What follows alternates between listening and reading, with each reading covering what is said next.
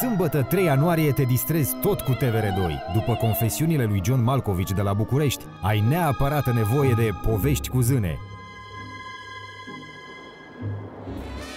Continui cu lumea feerică a circului. Și seara vezi două filme de excepție.